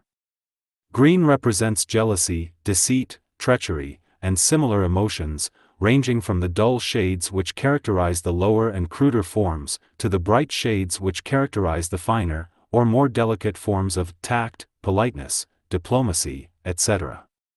Red, dull shade, represents sensuality and animal passion, while red, bright and vivid, represents anger. Crimson, in varying shades, represents the phases of love. Brown represents avarice or greed. Orange represents pride and ambition, and yellow, in varying shades, represents grades of intellectual power. Blue is the color of the religious thoughts, ranging, however, through a great variety of stages, from the dull shade of superstitious religious belief, to the beautiful violet of the highest religious emotion or thought. What is generally known as spirituality is characterized by a light blue of a peculiarly luminous shade. Just as there are ultra-red and ultraviolet rays in the spectrum, which the eye cannot perceive, so occultists inform us there are colors in the aura or mental atmosphere of a person of unusual psychic or occult development, the ultraviolet rays indicating the thought of one who is pursuing the higher planes of occult thought and unfoldment, while the ultra-red is evidenced by those possessing occult development, but who are using the same for base and selfish purposes, black magic, in fact. There are other shades, known to occultists, indicating several highly developed states of mind, but it is needless to mention them here. But the influence of these particles of thought stuff thrown off from the mind psychoplasm under the vibrations produced by the mind during the process of thought does not cease with the phenomena surrounding the aura. They are radiated to a considerable distance and produce a number of effects. We will remember how the corpuscles or electrons are thrown off by substance in a high state of vibration. Well, the same law manifests in the vibrations attendant upon the production of thought. The particles are thrown off in great quantities each vibrating at the rate imparted to it during the process. Know these particles of thought stuff do not compose the thought waves, the latter belong to a different set of phenomena. These particles of vibrating, thought stuff, fly off from the brain of the thinker, in all directions, and affect other persons who may come in contact with them. There is an important rule here, however, and that is that they seem to be attracted by those minds which are vibrating in similar thought rates with themselves, and are but feebly attracted and in some cases, actually repelled by minds vibrating on opposite lines of thought. Like attracts like, in the thought world, and birds of a feather flock together, here as elsewhere. Some of these particles of thought stuff are still in existence, and vibrating, which proceeded from the minds of persons long since dead, the same being emitted or thrown off during the lifetime of the persons, however. Just as a distant star, which was destroyed hundreds of years ago, may have emitted rays which are only now reaching our vision, years after the destruction of the star which emitted them and just as an odor will remain in a room after the object causing it has departed the particles still remaining and vibrating and just as a stove removed from a room may leave heat vibrations behind it so do these particles persist, vibrate, and influence other minds, long after the person who caused them may have passed out of the body. In this way, rooms, houses, neighborhoods, and localities may vibrate with the thoughts of people who lived there long ago, but who have since passed away or removed. These vibrations affect people living in these places, to a greater or lesser extent, depending upon circumstances, but they may always be counteracted or changed, if they are of undesirable nature, by setting upon positive vibrations on a different plane of mind, or character of thought. The mind of a thinker is constantly emitting or throwing off these particles of thought stuff, the distance and rate of speed, to and by which they travel, being determined by the force used in their production, there being a great difference between the thought of a vigorous thinker, and that emanating from a weak, listless mind. These projections of thought stuff have a tendency to mingle with others of a corresponding rate of vibration, depending upon the character of the thought. Some remain around the places where they were emitted, while others float off like clouds, and obey the law of attraction which draws them to persons thinking along similar lines. The characteristics of cities arise in this way, the general average of thought of their inhabitants causing a corresponding thought atmosphere to hang over and around it, which atmosphere is distinctly felt by visitors, and often determines the mental character of the persons residing there, in spite of their previous characteristics that is, unless they understand the laws of thought. Some neighborhoods, also, have their own peculiar mental atmosphere, as all may have noticed if they have visited certain tough neighborhoods, on the one hand, and neighborhoods of an opposite kind, on the other. Certain kinds of thoughts and actions seem to be contagious in certain places and they are to those who do not understand the law. Certain shops seem to have their own atmosphere some reflecting confidence and honest dealing, and others radiating an atmosphere that causes patrons to hold tightly to their pocketbooks, and, in some extreme cases, to be certain that their buttons are tightly sewed on their garments. Yes, places like people, have their distinctive mental atmospheres, and both arise from the same cause. And each person draws to himself these particles of vibrating, thought stuff, corresponding with the general mental attitude maintained by him.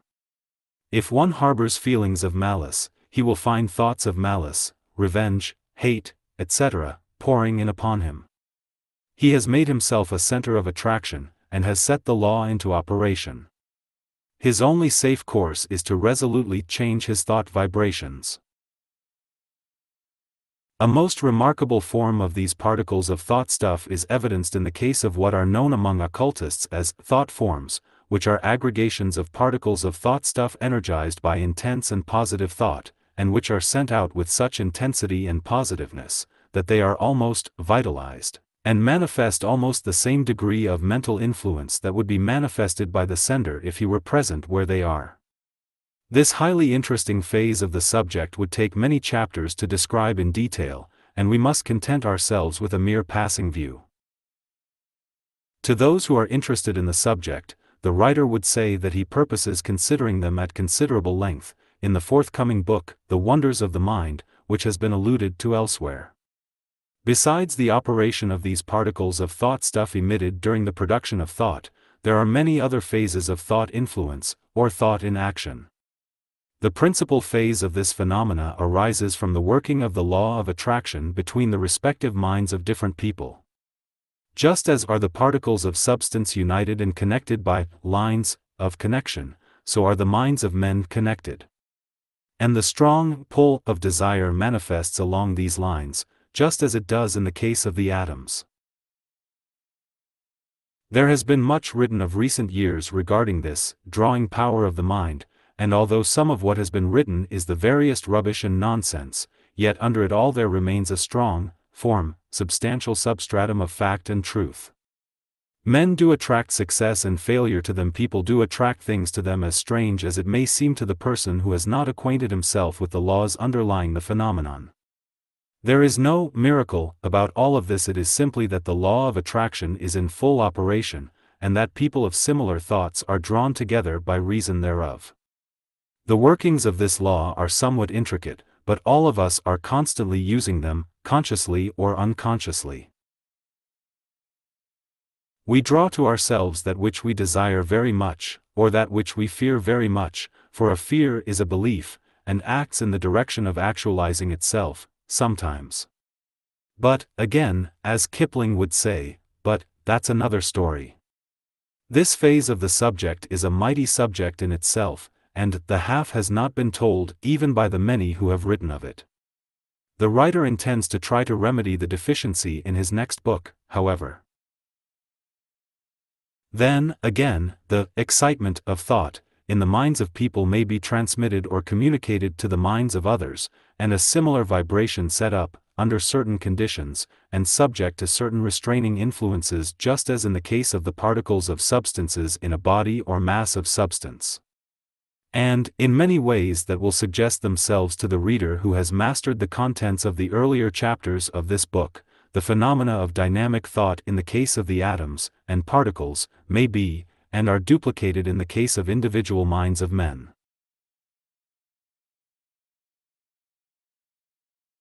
The reader will see, readily, that this theory of dynamic thought, and the facts noted in the consideration thereof, give an intelligent explanation for the respective phenomena of hypnotism, mesmerism, suggestion, thought transference, telepathy, etc., as well as of mental healing, magnetic healing, etc., all of which are manifestations of dynamic thought.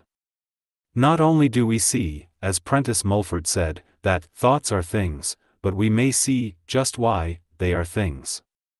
And we may see and understand the laws of their production and operation. This theory of dynamic thought will throw light into many dark corners, and make plain many hard sayings that have perplexed you in the past. The writer believes that it gives us the key to many of the great riddles of life. This theory has come to stay. It is no ephemeral thing, doomed to die a borning. It will be taken up by others and polished, and added to, and shaped, and decorated, but the fundamental principles will stand the stress of time and men. Of this the writer feels assured. It may be laughed at at first, not only by the man on the street, but also by the scientists. But it will outlive this, and in time will come to its own perhaps long after the writer and the book have been forgotten. This must be so for the idea of dynamic thought underlies the entire universe, and is the cause of all phenomena. Not only is all that we see as life and mind, and substance illustrations of the law, but even that which lies back of these things must evidence the same law. Is it too daring a conception to hazard the thought that perhaps the universe itself is the result of the dynamic thought of the infinite? Oh, dynamic thought, we see in thee the instrument by which all form and shape are created, changed and destroyed we see in thee the source of all energy, force and motion we see thee always present and everywhere present, and always in action. Verily, thou art life in action.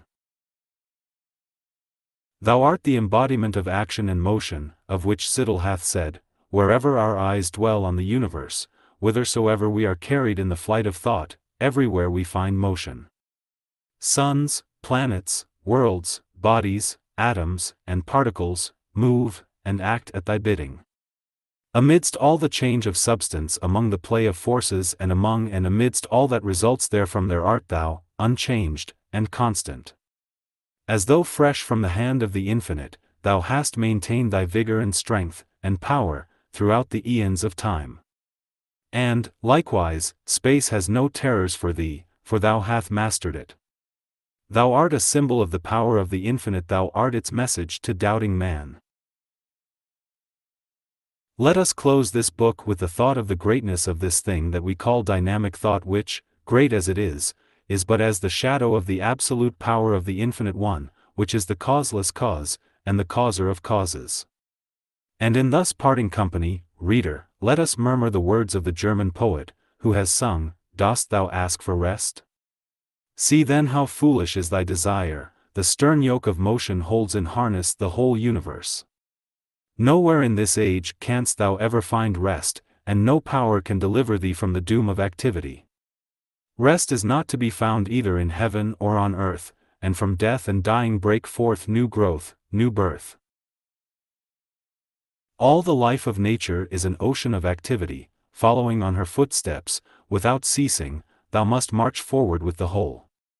Even the dark portal of death gives thee no rest, and out of thy coffin will spring blossoms of a new life. Finis. The End. Thank you for being with us until the end. We hope you had a wonderful time. If you enjoyed our book, please support us by liking and leaving comments. We look forward to seeing you soon with another book. Best regards.